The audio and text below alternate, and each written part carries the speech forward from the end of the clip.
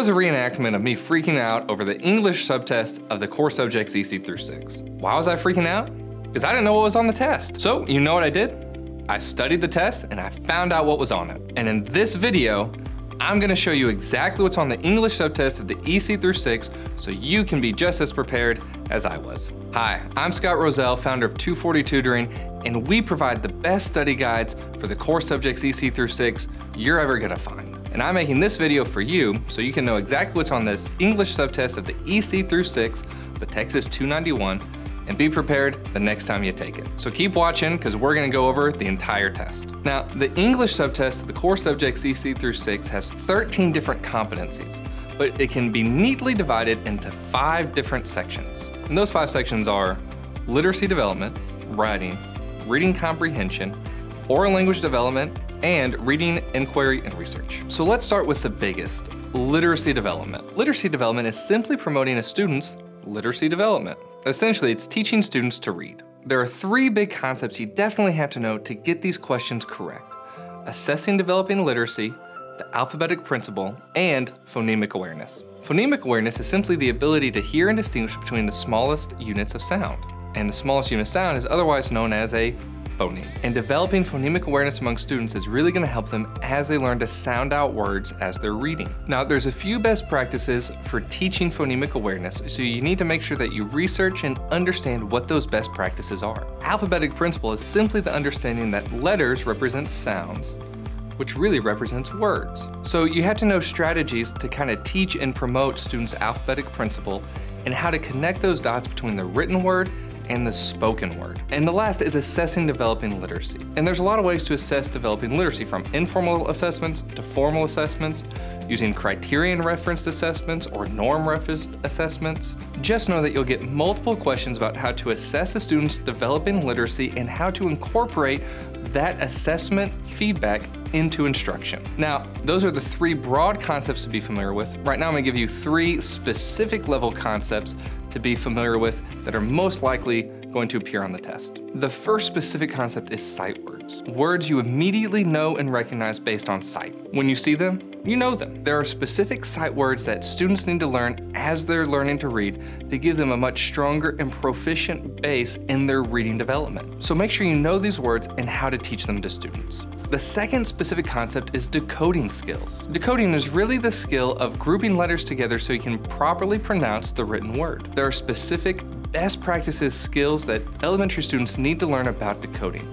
Make sure you know what they are and how to implement those strategies. And finally, as I mentioned just a little bit before, you need to understand what a norm referenced or criterion referenced assessment is. Now, these are two very different types of assessments with different goals, and knowing when to use each assessment in the appropriate setting is going to come up on the test. The next concept we're gonna look at is writing. Now, writing's gonna be a little bit more simple, but when you hear simple, don't think easy. You have to know these concepts, even though they're fewer, because they're gonna kind of come up on the test. The first concept you have to know is the stages of writing development. The stages of writing development will go from when a child is first learning to write, scribbling, to when they're starting to use grammar and the finer points of grammar to make their point. The official stages of writing development are scribbling, mock letters, letter formation, word writing, sentence construction, then spelling and punctuation and grammatical expression. So make sure you're familiar with each stage of the writing development, the characteristics, and what students need to learn, what kind of instructional activities they need to progress on to the next stage. Now, the second concept you need to know is the stages of writing. Didn't this genius just say stages of writing? Pay no attention to my smart aleck self. Stages of writing development and stages of writing are different. Let me explain. The stages of writing are specifically looking at a student who can already write, going from a not completed assignment to a completed assignment. Pre-writing, writing, revision, editing, and publishing. So make sure you know the purposes of each stage and how students should engage in each stage. So what should students be doing during the pre-writing that differs in the writing? And what should students be doing during the revision stage than in the editing stage? All this is almost guaranteed to come up on the test. And if this seems like a lot of information, it's because it is. This is a test that decides if you can be in front and teach the next generation of leaders. But if you're feeling overwhelmed, don't be. Remember at the beginning of the video where I said I was a founder of 240 Tutoring? Well, we've got the best study guides for the English EC through 6. So if you're feeling overwhelmed and you don't even know where to begin to figure out how to teach phonemic awareness or how to identify the different characteristics of the stages of writing, we've got you covered. You see, our study guides are filled with hundreds of pages of instructional content and hundreds of authentic practice questions that are going to walk you through the exact concepts we're talking about in this video in much more depth and detail. And it takes you from knowing what's on the test to knowing what you need to know to be successful on the test to equipping you with that information so that you can be successful when you take this test. So if at any point you're just overwhelmed or you want to save a lot of time and a lot of headaches, hop over to 240tutoring.com, get the English EC through 6 study guide, and make sure you're prepared today. So let's move on to reading comprehension. This section involves helping a student who can already read better understand what they are reading. And there are three big concepts in this section. The first concept is vocabulary development.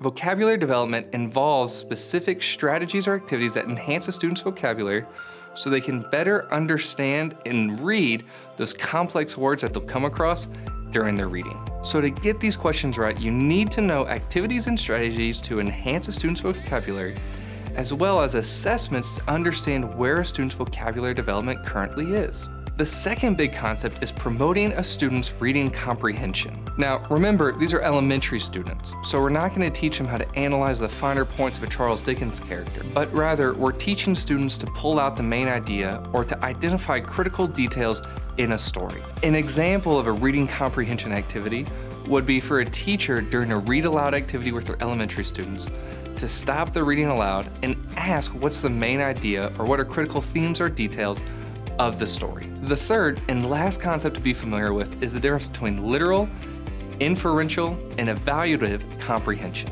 Each of these types of comprehension is different, so you need to know the characteristics of each and how to promote students' understanding of each type of comprehension.